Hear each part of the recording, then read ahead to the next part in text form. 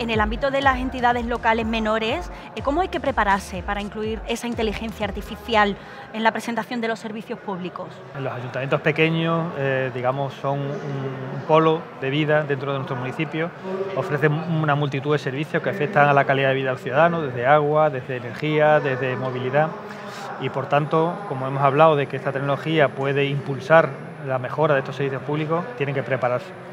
La preparación, en primer lugar, eh, parte de la base de hacer un análisis de lo que ya hay cuál es el gap que tiene para afrontar, eh, digamos, con, eficacia este reto, que en principio pasa por examinar tu sistema de información y eh, evaluar los datos que produce y, por tanto, ponerlos en producción con las nuevas tecnologías. Eso yo creo que es el papel fundamental y luego ser consciente de sus propias posibilidades. En todo aquello donde una administración pequeñita, eh, un ayuntamiento de pocos habitantes no llegue, para eso estamos las diputaciones provinciales, ese es nuestro génesis, nuestro foco, proporcionarles esos servicios también tecnológicos que van a necesitar justamente pues, para que este proceso llegue a buen término. A buen término. ¿Y cómo eh, se afrontan estos cambios por parte de la Diputación de Badajoz?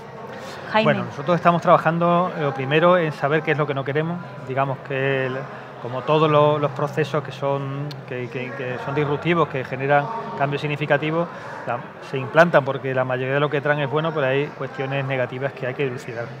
Cuestiones, por ejemplo, como la aplicación de algoritmo que pueda tener un, sesgo, de que digamos que priorice unos colectivos sobre otros, o que los resultados de sus análisis no sean correctos porque no se han tomado la referencia correcta.